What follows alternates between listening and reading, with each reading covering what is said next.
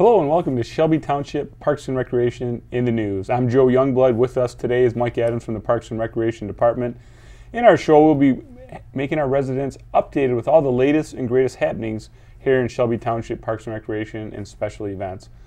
Mike, uh, summer is kind of winding down, and Yes, uh, with that brings the winding down of the summer season baseball. Mm-hmm. One thing I'd like to add before we get into that is with the summer season, it's great to play baseball when it's 70, 80, even 90 degrees as opposed to 30 in the 30 spring. in snow and sleet and your hands are numb. So, uh, how's the second season going, summer ball? This is the fourth year we're doing it. Mm-hmm. Great feedback. Um, knock on wood, everything's running really smooth. It is. It's running really good. Um, we do have a little different than our spring seasons because we can bring a, a lot of non-residents into our program. So, like I always say, the, the players in the spring they have cousins or friends that live outside of the township can come in. So our numbers are just growing every year. Sure. And uh, it, it's been one of the smoothest seasons so so far. I like to thank all the coaches. Definitely, summertime is busy for everybody. I know it's a it's a time commitment, so I do want to thank all the coaches that help out. Um, kind of winding down. Uh, last couple of weeks of regular season, we're getting ready for the big playoff push here uh, right around uh, right before Labor Day. The other nice draw seems to be is most communities have the spring season, but it doesn't seem like there's that many that have a summer baseball season. And that seems to work out really well, except for drawing people around the community, because people want to play during the summer. Yeah, like you said, you know, it, it- the weather's good. Um, it does get a little hot, but I think people prefer that versus the 30 degrees in April, like you said. And uh, yeah, it's, it's just been really good. Um, of course, we got great fields here in the township, and uh, I'm not sure why more communities don't offer the, the summer season. Maybe because the first season is such a long season, and um, we, we have tons of teams for our spring season. You know, maybe they just don't have the field capabilities, but since we do have the fields here, we offer it, and it, it's just been going great. Yeah, definitely. So, well, great job uh, heading heading up the league, Thanks. and it has been going really well. So, it's always nice to hear. And if we have any residents that uh, are interested, just remember for 2016, if you uh, you can play spring baseball season and you can play the summer baseball season, or one or the other. But uh, you can start looking the newsletter around January for uh, registration uh, for that for the spring and summer baseball uh, season. Uh, Mike, we have a few different events coming up in the township. One I'd like to touch on to, to get started here is the Jingle Bell Run. Now, I know that's a little ways off, but it, people like to plan ahead. Maybe it's for their training Yep. or just put on the calendar. But Sunday, December 13th, uh, 2015 at 9 o'clock a.m. is the Jingle Bell Run. And this is headed up by Mike Ward, who heads up most of the races here uh, in Shelby Township and does a great job. Uh, the benefits, uh, the proceeds will go to Macomb County Special Olympics, uh, Penrickton Center, Cattail Acres, Shelby Township Veterans, and the Shelby Township Lions. We also have another race that's coming up uh, a little bit sooner than that is the Veterans Memorial Run, and that's a 5K run, 5K walk, Sunday, November 8th, 2015 at high noon.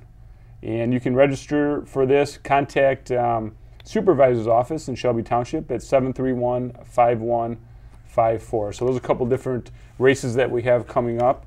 And speaking of races, um, Mike, we have a lot of trails here in Shelby Township. Oh, yeah. And we've had uh, been in contact recently with some local groups because we're applying for different grant monies. Um, if you've been over to Riverbends Park, you'll see the Riverbends Park to Utica Trail. The construction is ongoing at this time. Completion date of this fall, November 15th, is the slated complete, completion date. This is all part of the Iron Belle Trail. You may ask, what is the Iron Belle Trail? That's going to, the plan is to go from Iron Mountain all the way to Belle Isle. The portion that comes through Shelby Township is the trails that we're working on right now, which would lead us from the Macomb Orchard Trail uh, through Jean Shepherd Park, Holland Ponds, through Riverbends Park into the city of Utica. And that trail will take you all the way um, down to Belle Isle. Uh, at least that's the plan, and that's coming from the governor's office. And that's the uh, Michigan's Iron Belle Trail. We do have brochures on this if you are interested. And Mike, speaking of trails, uh, we know in our local parks uh, what a, a big uh, quality of life improvement this is for the, the residents. You go stop by the Macomb Orchard Trail, Oh, yeah. heading over to River Bends, um, and it's something, you know, we have residents that pay taxes. Of course, we get grant monies, but that money is, is not free. We get money from uh, people paying taxes. So it's great to put it to use, as I mentioned, for the quality of life. Yeah. And what's your feel on the the trail system here in Shelby Township? Well, Macomb Orchard Trail specifically, if you go there on any given day, you can see the mm-hmm. amount of people using it. And I think it's a great alternative to opposed to just walking up and down your street sure. or off a main road like Van Dyke. Um, it's just a great atmosphere. People are very friendly out there. You'll see all different people walking their dogs, um, kids in strollers. You just see a wide range of. of That's a good point. The people amount of users that can use it. Yep, and it's it's really good. Um, like I said it's a little different than walking up and down your street. Some things other communities don't have that we you know really enjoy here, and obviously we have lots of uh, extensive trail system in our parks. But uh, Macomb Orchard Trail, um, you know, anytime that we go there, it's just mm-hmm. unbelievable mm-hmm. the amount of use, especially during the morning and uh, afternoon hours. It's, it's really nice to see. Yeah, definitely. And if you're interested, uh, we do have brochures on the Macomb Orchard Trail. This is, has a map here that shows the whole 23 and a half mile trail, which goes from Shelby Township all the way to the city of Richmond. It's a beautiful um, ride, jog, jog or walk uh, for you. And also, uh, many different types of users, as Mike had mentioned. Know, another user that we have has become very popular is the mountain bike trail users. This is over in Riverbends Park, and we would like to thank CRAMBA, which is the Clinton River Area Mountain Bike Association, for coming in and building over eight miles of trails through Riverbends Park. And not only do mountain bike users use the trail, we also have joggers and walkers, people uh, going out taking pictures, looking at birds, and just nature in general. So that's the, uh, and we have a wonderful map that they made for us and that can be uh, picked up at the Shelby Township Parks and Recreation Department as well. It's nice to go on the trail system and have a map of the trails you are using there.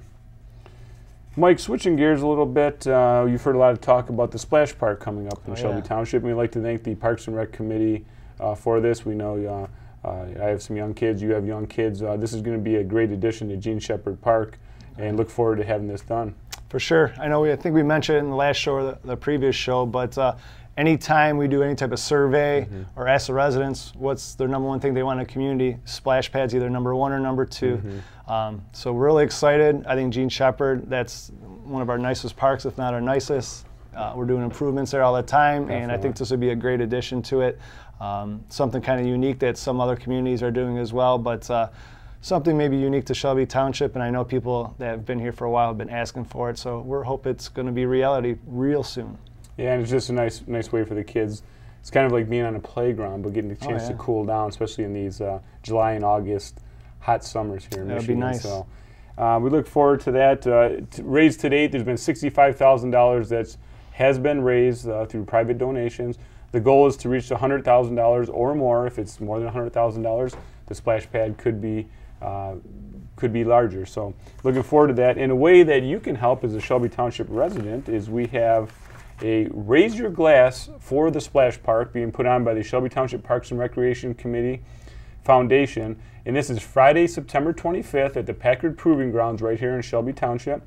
It's $60 per person, or you can purchase a table of 10 for $550. And give, give us a call at Parks and Rec 731 0300 if you're interested in attending the wine tasting. Uh, looks looks to be a, a, wonderful night. If you haven't been out to the Packard Proving Ground, it's a beautiful facility.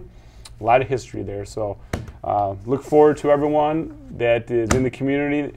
That uh, Mike, when we have a program like this, it's great that it brings the community together. When you're doing a project like this, when you're counting on the residents yep. to step up and come together and and and uh, do a, a program that they can be proud of. So kind of has that small town feeling, bringing oh, a, yeah. a, you know program like this together. So yeah.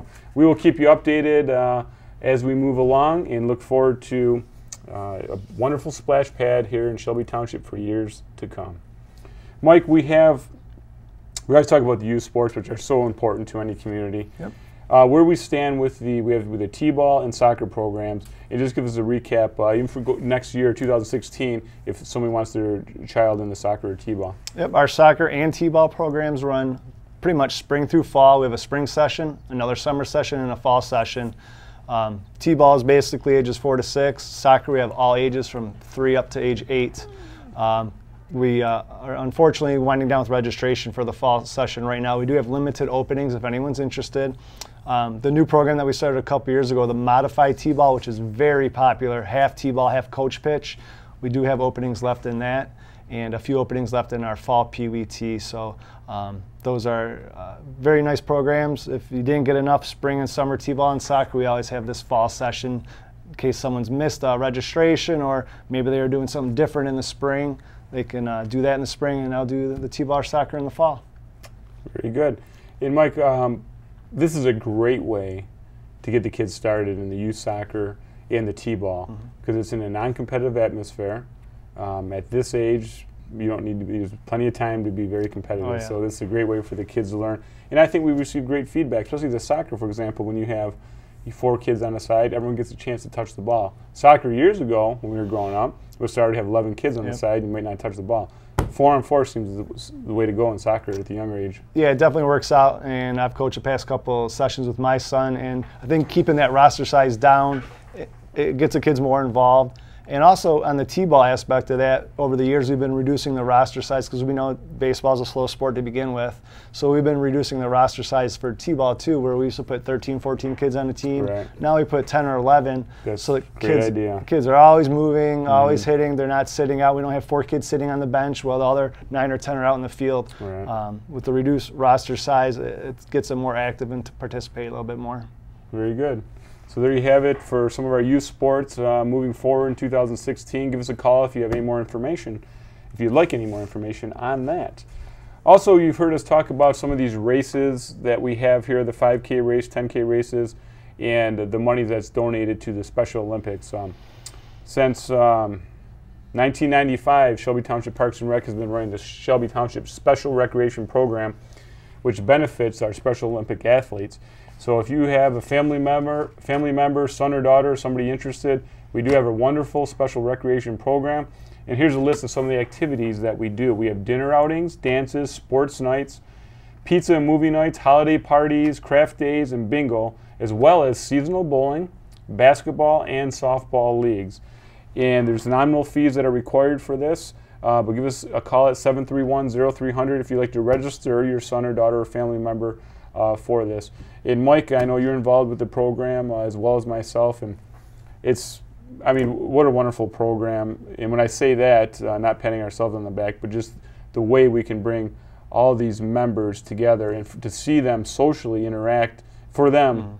The program is wonderful. it is a great program. Our database of this program has been growing over the years. I think we're over 125 members now and uh, you definitely see it. My favorite by far is the bowling league. You see that growing every year. Um, yeah. Last we started year, with eight eight uh, people eight. back in. Uh, so we have almost 60 now. This year we had 58 actually. That's great. Yeah, I'm sure we'll have a couple more yeah. Uh, this upcoming year in September. That runs September through April, and that's a great program to go to go watch and to administer, and it's really fun watching that. Um, as well as, as you know, our softball has been growing as well. Oh yeah. Um, maybe getting ready to go to two teams there. Um, so yeah, th- those programs are definitely growing, and just the fun night outs like the movie nights, like you mentioned, mm-hmm. and the mm-hmm. bingo nights. Um, our participation ranges because they're on either Friday or Saturday, so it might be tough on the weekend for some people. But our normal uh, base of people, we usually average about 25 to 30 people for each one of those events. Yeah, very good. So that's the Shelby Township Special Recreation Program. Give us a call if you'd like any more information, or shoot us an email uh, for that. If you'd like to email us. Um, well, you can email me directly. as jyoungblood at shelbytwp.org. Uh, just recently, we had the Shelby Township Art Fair, and we had a wonderful weekend. And at this time, let's take a look at some footage to see what a wonderful event it was.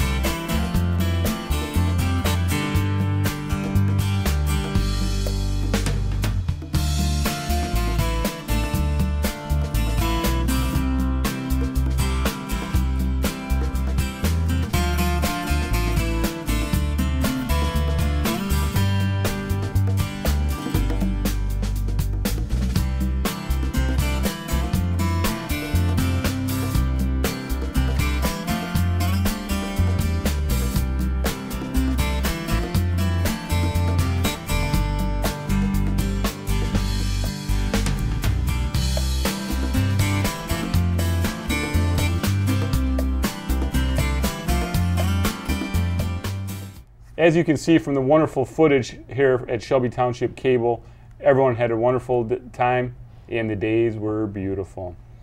Over at the Burgess Shadbush Nature Center, many people may not know we have teaching gardens over there. And if you want to stop by, um, we'd like to thank Diane Grantham and all her volunteers for these beautiful gardens that we have. They're just on the west side of the Nature Center. Please stop by, check it out. We also have brochures if you'd like to stop by to see exactly what you would be learning over at the Teaching Gardens at the Burgess Shadbush Nature Center. Mike, one of the uh, final events of the summer we have coming down in August here is the uh, Youth Fishing Derby. So why don't you fill us in on the uh, the annual fishing derby? Yep, this is uh, a little change. We moved it to August. Um, how many years was it in June? Over 30 years. Over 30 yeah. years. Move it to August. We're uh, excited about that change. We also shifted the time. I, th- I think it was been 9 to noon almost that whole time. Moved it to 10 to 1, maybe so mom, dad, grandma, grandpa don't have to get up so early to get there. Um, so 10 to 1, Saturday, August 29th is the annual fishing derby this year. It's for anyone ages 15 and under. Early bird gets the worm. Early right? bird gets the worm and the best spot on the lake. um, so yeah, uh, registration is real easy. It's a free event, but we do have a registration form that they have to sign. So if they want to get there 10 minutes early, fill out that form, they can start fishing right at 10 o'clock. We have tons of prizes. We have really nice prizes for the winners, but we have a lot of door prizes. Almost everybody walks out of there with something. What's some of the biggest fish you've seen caught at this event? Um, we had a, a, large carp caught uh, either last year or the year before. I'm not sure the length, but um, I think it was uh, 10 to 12 pounds. Mm. Uh, not during the fishing derby, but there was reports that there was a 12 to 14 pound catfish caught out of there. Um, not during the fishing derby hours. Um, I saw a six pound pike caught out of there, and I know me and you have seen some rather large bass there. Oh, yeah, definitely. Um, definitely in the three and a half to four and a half pound range, are definitely some uh, largemouth bass in there. And what, if somebody's watching that's going to be at the fishing derby, what would you see say has been the most successful lure used? Um, probably a large night crawler. Um, that way you're not limiting yourself on what you can so just catch. old school. Old school night, night crawler. You can catch one of those big catfish in there, the largemouth um, or even one of the carp. Very good. There you have the Youth Fishing Derby here in Shelby Township. Um, we also have a couple or sponsorships we'd like to thank Christian Financial, Financial and Kirk Huth Lange in Badalamenti for the sponsorship. Also, the D- Detroit area steel- steelheaders, which uh, they are a sponsorship every year. So, thanks to the sponsors, make this a free event uh, uh, every year, and you can um, register the day of and uh, we'd love to see you out there. It's uh, going to be a beautiful day, right, Mike? I certainly hope so. It hasn't rained that much on, on, the days that we had the fishing derby, so. Well, and if it rains a little bit, they say sometimes it's better yeah. for fishing. Yeah, I think uh, I've done the fishing derby 12 or 13 years and it's only rained one time, but whatever, people have a good time out there. It's rain or shine. Very good. Well, there you have it from the Shelby Township Parks and Recreation in the news. Please remember here at Shelby Township Parks and Recreation, we create community through people.